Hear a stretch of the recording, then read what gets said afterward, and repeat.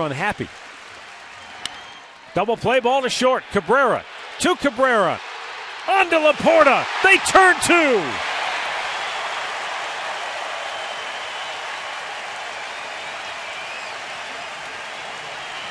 Second double play turn by the Tribe comes back with the breaking ball. Maddie fouled off the fastball a pitch before. Excellent location. Rolls over on it. Gets it to Asdrubal to Orlando.